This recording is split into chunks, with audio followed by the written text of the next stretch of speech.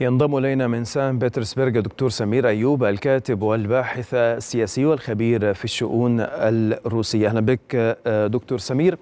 هناك ربما تحقيق لأهداف كثيرة وأيضا صد لهجمات بأعداد كبيرة من المسيرات الأوكرانية للجانب الروسي. اذا هو تطور كبير على الساحة ساحة المعركة وانتصارات خاصة بأن الجيش الروسي يقول إنه بالأمس استطاع أن يقتل ما يزيد عن 500 جندي أوكراني في المواجهات لا سيما التي تجري طبعا في منطقة زابروجيا أو كوبيانسك أو غيرها حتى من المناطق الأخرى التي يسيطر عليها. أهلا وسهلا بكم. صباح الخير لكم ولمشاهديكم الكرام. يعني يبدو أن نظام كييف فقد الأمل في تحقيق أي إنجازات من جراء الهجوم المعاكس الذي حضر له على مدى عام ودعم بأحدث أنواع الأسلحة الغربية.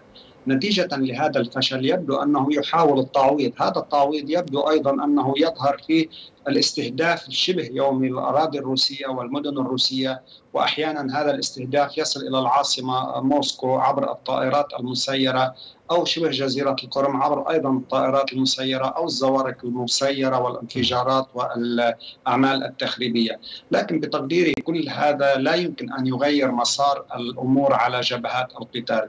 يعني صحيح أن الجيش الأوكراني أعد نفسه, أعد نفسه جيدا وكانت لديه معدات غربية حديثة لكن بعد هذا الفشل يبدو أن روسيا لم تقف فقط عند خطوط وقف إطلاق النار.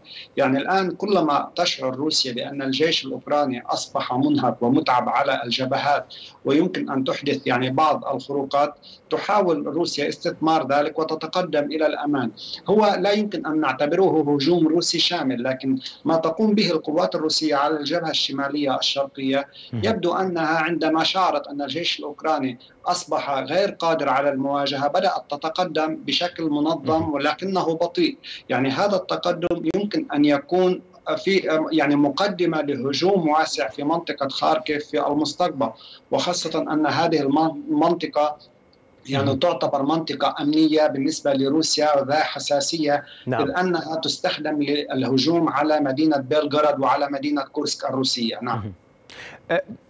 هو هذا هو السؤال بالضبط الذي كنت أرغب في طرحه عليك دكتور.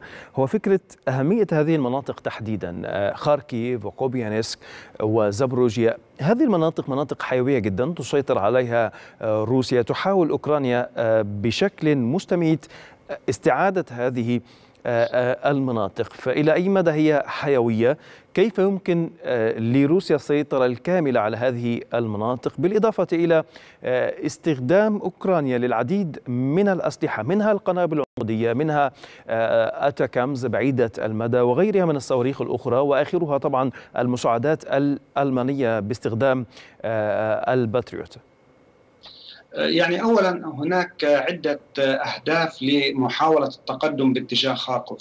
اولا هناك رأي عام في المجتمع الروسي يقول أن خاركوف ومقاطعة خاركوف هي في الأساس يعني مناطق روسية خالصة ومن الخطأ كان على القوات الروسية الخروج منها، لكنها يعني نحن نعلم أن القوات الروسية خرجت منها في العام الماضي مجبرة وليس يعني بكون بانها أرادت الخروج من هناك، لكن اليوم أن هذه المنطقة تعتبر ليس فقط يعني معنوية بالنسبة للشعب والشارع الروسي وإنما أيضا من الناحية العسكرية هي منطقة ذات تواصل بين كييف وموسكو بين خاركوف وأوديسا. لذلك مسألة السيطرة عليها تعتبر يعني ذا أهمية استراتيجية كبيرة وخاصة أن أي وقف لإطلاق النار أو أي وقف للعملية العسكرية دون الاستيلاء على خاركوف في حال أصر نظام كييف على إبقاء أوكرانيا عدوا لروسيا. يعني في هذه الحالة يمكن أي انتصار لروسيا أن يكون انتصارا ناقصا من دون خاركوف ومن دون أوديسا. هذا أصبح واقع لدى الشارع الروسي الآن. كل الأنظار متجهة باتجاه هاتين المقاطعتين. خاركوف كما قلت اولا لأن تكون ليكون نصر معنوي للمجتمع والشعب الروسي وأيضا نصر عسكري في حال تم تأمين الحدود الروسية ومنطقة أوديسا من أجل تأمين شبه جزيرة قرم التي تتعرض دائما لهجمات بالمسيرات وبالزوارق، هذه تأتي من موانئ أوديسا، لذلك أيضا الضربات القاسية والقوية التي يقوم بها الطيران الروسي أو عبر الصواريخ إلى هذه المناطق خاصة في أوديسا تهدف إلى تدمير كل الأماكن التي يتم بها تصنيع المسيرات البحرية وحيث أيضا يوجد مستشارون من حلف الناتو وبالأخص بريطانيين. يعني روسيا تتهم بشكل مباشر بريطانيا بأنها هي التي تجهز الجيش الأوكراني خاصة في مجال في المجالات العسكرية البحرية وهي التي توجهه وتوجه الزوارق يعني المتقدمة الحديثة التي ظهرت أخيرا لدى الجيش الأوكراني والتي تهدد أسطول البحر الأسود الروسي. ليس فقط الأسطول العسكري وإنما أيضا السفن المدنية. في هذه النقطة تحديدا هناك ربما نشهد صراعا أكثر حدة في البحر الأسود لا سيما طبعا بعد إعلان كلا الطرفين بأن هذه المنطقة سوف يتم استهداف أي سفن وليست سفن عسكرية وإن كانت مدنية وأيا ما كانت ما تحمله من بضائع سيتم استهدافها سواء من الجانب الروسي أو من الجانب الأوكراني. هذا يهدد بتحول هذا البحر إلى كتلة من النار. صحيح يعني كل الأسلحة الغربية التي قدمت إلى كييف حتى الآن لم تساهم في تغيير موازين القوى وإن أطالت أمد هذه العملية العسكرية وزادت من الخسائر البشرية بشكل كبير وخاصة في صفوف الجيش الأوكراني. لكن بالنسبة للبحر الأسود أنا كما قلت قبل قليل أن أي نصر لروسيا من دون خاركوف وأوديسا يعتبر نصر ناقص. ولكن أي انتكاسة لروسيا في البحر الأسود يعتبر هزيمة لها وليس أي لا يوجد أي نصر. نعم. لذلك نرى هذا التركيز من قبل حلف الناتو وخاصة بريطانيا وأشدد على أن بريطانيا هو الهدف منه ضرب هيبة أسطول البحر الأسود الروسي وهزيمة روسيا يعني بداية لهزيمة روسيا في هذه المنطقة، يعني أنا دائما أقول أن التاريخ يكرر نفسه، سابقا أيام يكاترينا فتارايا الأمبراطورية الروس الأمبراطورة الروسية كانت أيضا هناك حرب مع الدولة العثمانية انتصرت روسيا ولم ترضى لا فرنسا ولا بريطانيا بهذا النصر لأن روسيا هيمنت على البحر الأسود وعندها أصبح أيضا منفذ لها على البحر المتوسط. الآن يبدو أن بريطانيا وهي رأس الحرب الآن في هذه المنطقة أيضا لا ترغب بأن تسيطر روسيا بشكل يعني شبه كامل على البحر الأسود وتهمش تواجد الناتو وخاصة أن هناك دول من أوروبا الشرقية مثل رومانيا وبلغاريا لديها أيضا مخارج على البحر الأسود ويمكن أن يستفيد منها حلف الناتو نعم. الوجود القوي لروسيا يهمش وجود حلف الناتو ويبقيه محدودا أيضا هذا يساعد روسيا كما كان سابقا اليوم يساعد روسيا في الدخول إلى البحر الأبيض المتوسط واستعادة بعض ما فقدته سابقا عندما كان الاتحاد السوفيتي، يعني القواعد البحرية إن كانت في سوريا أو ما يمكن الحديث عن قاعدة بحرية في السودان أو حتى الآن في أفريقيا الصراع الذي بدأ يعني يظهر على العلن يمكن كله أن يكون أيضا البحر الأسود هو أحد ممراته وأحد الطرق الاستراتيجية التي نعم. والتي هي مهمة بالنسبة لروسيا. هل هذا يفسر أيضا أن قيام أوكرانيا بالأمس بإطلاق أكثر من 20 مسيرة على شبه جزيرة القرم لما لها من أهمية أو تحاول الاستعاده مرة أخرى على الرغم من أنها لديها جبهات أخرى كالجبهة الشرقية وهي أيضا مستعرة فهل تريد أوكرانيا السيطرة مرة أخرى على جزء من البحر الأسود في ظل هذه السيطرة الكبيرة من الجانب الروسي حتى تستطيع فتح بعض الممرات لعبور سفنها؟ يعني لا أعتقد أن هذه الأهداف الأوكرانية هي إيجاد ممرات للسفن. مهما كانت الممرات موجودة في البحر الأسود تحت تبقى تحت النار الروسية. لكن يبدو أن يعني الهدف الأوكراني هو محاولة لزعزعة الأمن والاستقرار في هذه المنطقة. يعني هم يريدون أهداف معنوية أكثر مما هي أهداف عسكرية. وخاصة يعني لو استطاعت أوكرانيا أن تصيب هذه الأهداف إن كانت في شبه جزيرة القرم أو استطاعت أن تحدث أي إنجازات على الجبهة لفعلت ذلك. الآن هي غير قادرة. كل ما تقوم به هي محاولة للتعويض كما قلت قبل قليل عن الخسائر من جهة. ومن جهة أخرى يعني إبقاء الوضع في منطقة البحر الأسود متوترا لإيهام العالم بأن روسيا هي بسبب العملية العسكرية أصبحت يعني الأوضاع الأمنية متوترة وتؤثر على الأمن الغذائي العالمي. لذلك بتقديري يعني هذه المسألة أصبحت للاستهلاك نعم. والاستثمار السياسي أكثر مما هو واقعي. يعني هناك تداخل في الاقتصاد في نعم. الطاقة في النفط والسياسة كل ذلك بتقديري يعني هو هدف هذه المحاولات الأوكرانية لكن البعض يقول دكتور بأن خروج روسيا من اتفاقية الحبوب هو لأهداف سياسية تريد أن تحقق مزيد من الأهداف تحصل عليها في المقابل تسمح بإعادة هذا الاتفاق مرة أخرى. فما الذي تريده روسيا تحديدا من هذه المكاسب أو حتى ضمانات تحصل عليها من الغرب من أجل عودة هذا الاتفاق مرة أخرى؟ والضغط بورقة أن هذا سيتسبب في مشكلة وأزمة غذائية طاحنة. يعني هناك عدة أسباب أدت إلى خروج روسيا من الاتفاقية الغذائية. هذه الأسباب يمكن أن تكون داخلية بالنسبة لتركيا وخاصة أن مواقف النظام التركي في الفترة الأخيرة أغاضت روسيا وأرادت روسيا يعني أن يمكن أن تعاقب يعني كلمة معاقبة يمكن أرادت أن تؤدب في مواقف النظام التركي التي كانت في الفترة الأخيرة يعني نوعا ما معادية لروسيا. وهذا برز في التصريحات بين الطرفين. هذا من جهة. من جهة أخرى يبدو أن روسيا تشعر أن الآن على جبهات القتال المواقف في صالحها يعني لا يوجد أي إنجازات لنظام أوكرانيا فيمكن أيضا أن تستثمر ذلك. ثالثا هناك استخدام كان للممرات المدنية يعني السفن المدنية التجارية كانت أيضا تستخدم للعمليات العسكرية ضد روسيا.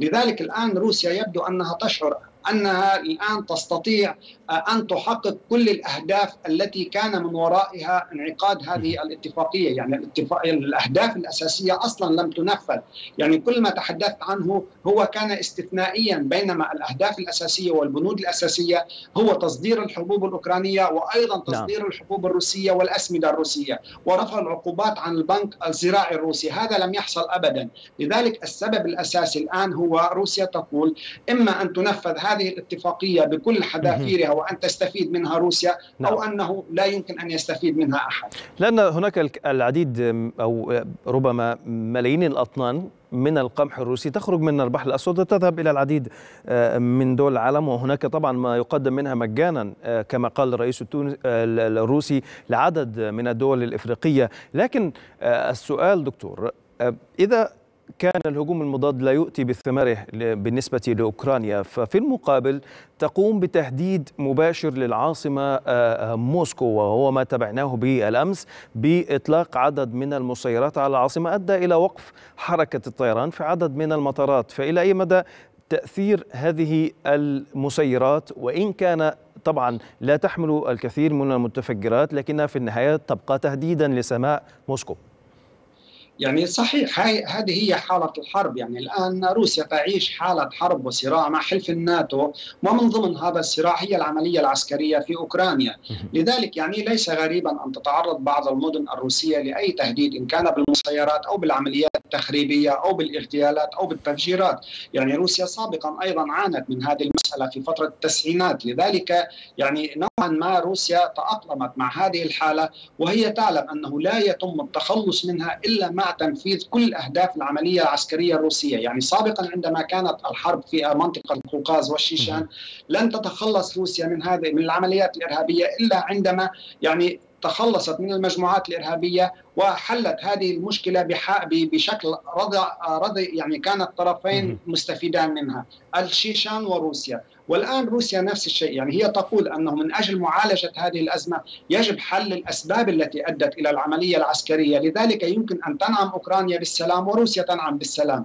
ان أما أن تبقى روسيا تتعرض لابتزازات وتهديدات ويبقى نظام كييف مستقوي بالغرب وبحلف الناتو هذا ما لم ترضى به روسيا. صحيح الآن هناك بعض الخسائر هناك يعني حالة من التوتر ولكن يمكن أن يكون هذا أفضل بكثير لو بقيت روسيا ولم تقوم بالعملية العسكرية وأصبحت الحرب على أرضها أي على شبه جزيرة كورم أو بعض يعني الأماكن الروسية، هذا كان يمكن أن يؤدي إلى صراع شامل وزعزعة أكثر في الداخل الروسي، اذا الآن يعني روسيا دائما تقيس مقياس الربح والخسارة، أين هي؟ صحيح كل يعني القرارات خاصة في الحرب والصراع فيها خسارة. لكن الآن النسبة ما هي؟ بتقدير روسيا ترى أن نسبة الخسارة الآن أقل بكثير مما لو صبرت. لذلك يمكن أن تتحمل هذه النتائج ولكن تنتظر أن تحصد نتائج إيجابية كبيرة. أولا ليس فقط على صعيد أوكرانيا وإنما على صعيد حلف الناتو بشكل تام. لكن يا دكتور السؤال هنا وهو ربما تكون هناك جبهات أخرى تفتح على روسيا خاصة